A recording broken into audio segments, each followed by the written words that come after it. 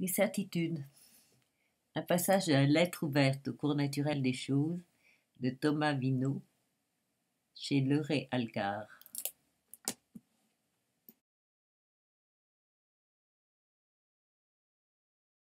Mais comment font les hommes pour être persuadés d'une seule chose?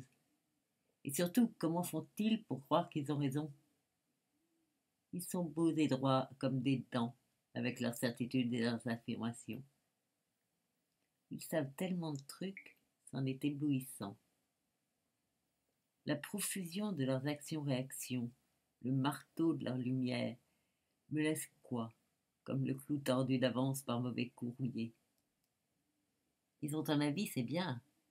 Et puisqu'on parle un peu de poésie, je vais citer l'inspecteur Harris. Les avis, c'est comme les trous du cul. Tout le monde en a un. Ils ont un avis qui leur fait comme un double menton. C'est chaud et doux, mais ça limite la rotation du champ de vision.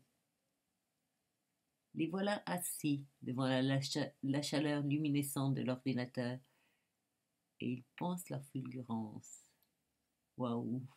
Ça fait comme des missiles de pisse dans l'eau froide des flaques.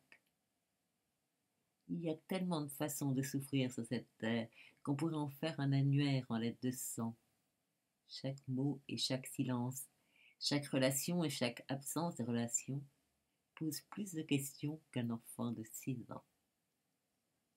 Un oignon est aussi complexe qu'une centrale nucléaire. Tout est vrai et même son contraire. Tout est lié et c'est le point de vue qui fait l'objet.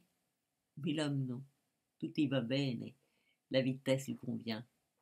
Elle permet de simplifier le paysage.